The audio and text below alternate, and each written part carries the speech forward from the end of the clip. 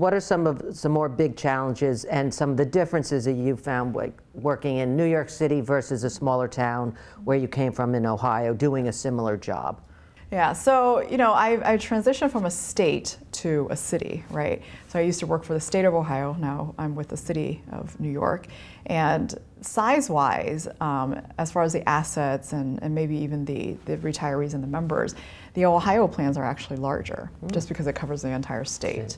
And it was funny thinking back. It's funny because you know, when I was considering this job, I said to myself, you know, coming from Ohio, Ohio plans are already complex, especially after the Great Recession that I that I spoke about. You know, after making some plan tweaks to the provision, um, everything got more complicated. So I, I, said to myself, you know, Ohio plans are already complicated. It's a swing state. We're very political over there already. You know, I think everything is just it's it's bigger and more complex, but you know, it's it's it's going to be manageable.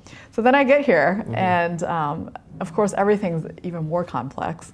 Uh, between the five plans and the different tiers in, in New York, there's actually 120 plans. Um, and you're on top of all of them. Uh, my staff you, and I you together have, yeah, you, collectively you guys are, are all yes. responsible for yes. that. Yeah. And then you know, it's obviously city politics are a lot more intense than state politics, but then you add the dynamic that the one of my bosses is running was running to become the president of the United States. Yeah.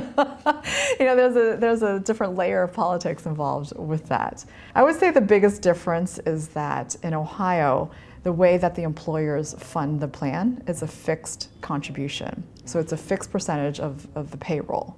Whereas in New York City, the actuary you know, determines and calculates the contribution each year, and the city puts it in. So it might fluctuate based on different demographics and and the way assets have performed and all that. And so because the contributions vary in New York City, you have the city officials and the government officials a lot more in tune with what's going on, so they have to be aware and, and have a heads up of what to expect for the upcoming years.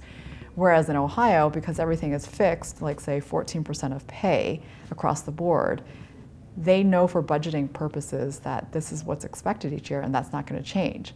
And so the government officials in the state of Ohio weren't as involved on the board.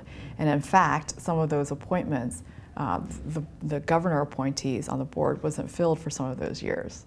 Whereas, you know, much closer with the city officials here.